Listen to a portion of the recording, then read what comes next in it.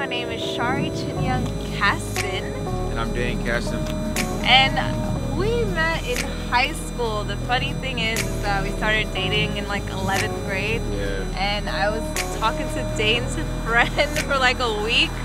And then I like broke up with his friend because we were like talking for like five days and yeah, it wasn't working out for us. And then I think like a year later or summer later, a summer later, Dane texts me and was like, hey. Yeah, I hit her up because my boy was using my phone to actually hit Shari up because he didn't have a phone back then. And when it didn't work out, I seen I still had her number and I was like, dang, this is crazy. Let me see if she got the same number. And uh, I just went for it. Was like, yo, what's up? And the rest was history after that, bro. Disclaimer: Me and his friend only talked for like two days. Yeah, So and they still cool. yeah, it worked out. We actually started a nonprofit called the World Peace Connection, and um, we started in 2015 because we really wanted to ask people what inspires you the most about life and living. Yeah, And we decided to go after our inspiration, which is travel and service. yeah. And we've been doing this for about two years now. Um, become a lifestyle at this point. At this point, we live by it, we breathe by it, and that's to try to make the world a better place. So it starts with us, and that's why we decided to just do it. Exactly. We've been to like over 11 different countries asking the same question to locals, travelers, students. We taught in Bali.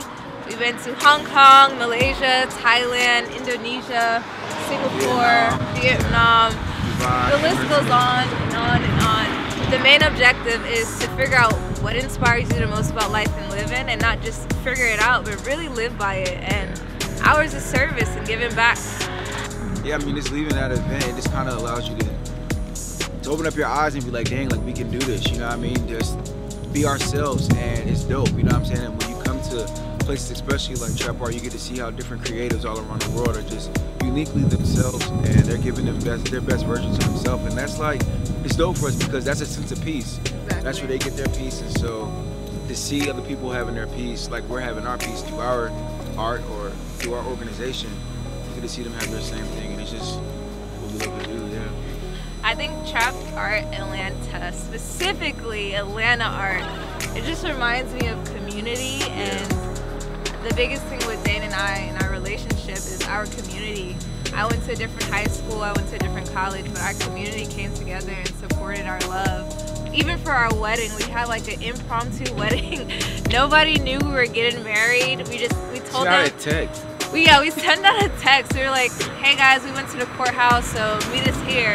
But we actually had like a wedding in front of our closest friends and their family, Yeah. and it was community. And I think Trap Art Atlanta reminds me so much of community and just coming together and being yourself. Supporting each other, yeah, for sure. Black love. Black love reminds me of, of strength. It reminds me of different dynamics of love. It can be love from a parental love, your child love, but most importantly, for I think this season in my life, love reminds me of finding somebody that's a reflection of you, but someone that's going to make you better. Yeah. But also that reminds you that they're just human, so we're gonna put God in the, the forefront of our relationship. I think a lot of people get lost in love, not just relationship love, but when you're in love with something, you forget that God is love. Right. And you gotta find that in it. And so, yeah, I mean, you said it perfect. I think, yeah, this black love is just like empowerment. And I think that's, it's, it's a beautiful thing to be able to know that when real love exists, people want it. You know what I'm saying? All around the world, people are still searching for love. But then to see it in our community as black love, what it represents is empowerment. Yeah, I just thought about it, like the two words coming together, infusing black love. Like black to me is like Nubian kings and queens, and then love is so strong. God is love, so putting them both together, you can't stop. You can't stop.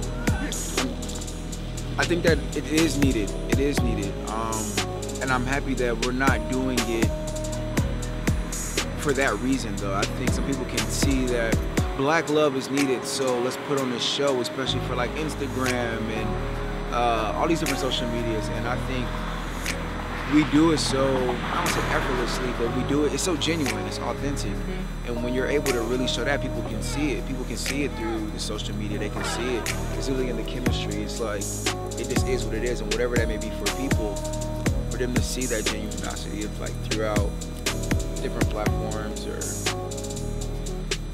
whatever. I mean, I think it's it's going to help make the world a better place because of it. Yeah, I mean, I, I don't know. I, I do feel some sort of responsibility to let people know that love exists. Especially to you. Yeah. Especially to you. Yeah. Love exists and um, falling in love with your high school sweetheart. That's just who does that, you know? And it, it, really can happen. And yeah, I, I, feel that responsibility to, to portray it on my social media, but not as a portrayal, but as a, my real life, you know? And we get a lot of responses, a lot of people asking us if our love is real, and I respond to them. God is love. Seriously, like if you put God in the forefront of your relationship, you don't have to worry about if your love is going to be real because you guys are both coming together loving God. Yeah, but you gotta love yourself first. I think sometimes it's hard for people to even be able to do that or understand what that even means to do. Uh, um, yeah, what that even means to do, and I think that again is finding peace. Goes back to finding peace within yourself. You know, um, what you find peace within yourself at what you're doing. If you're following your dreams, that gets you one step closer to being in love with who you are because you're walking in your purpose. And um, I think even back then we weren't necessarily walking in our purpose, but we both had a goal in mind, and it was like I knew what I wanted, she knew what she wanted. We were somewhat developed internally by ourselves, but then when we came together, we saw that it was just like powerful. So, you know, I guess when you find the one, that even is possible, but you'll find the other person who matches your, your drive. The reason why I love you is because you literally complete me. You make me a better person each and every day. You love me unconditionally. When I look at you, it reminds me of God, the unconditional love of God, and how if God was here, this is how He would push me day in and day out from a different, from a different avenue. I believe He's using you, and so that's why I love you. The reason why I love you is because you taught me love. You taught me that love is unconditional, that there's no rules, that when you are together loving somebody and you push somebody each and every day, when you do it together, it's a force, like a song. um, reason why I love you is because I believe that you were made perfectly for me. I think that God created you and molded you specifically for me. He curled your little mustache for me. he made your vision bad so we could wear glasses together. And yeah. That's it.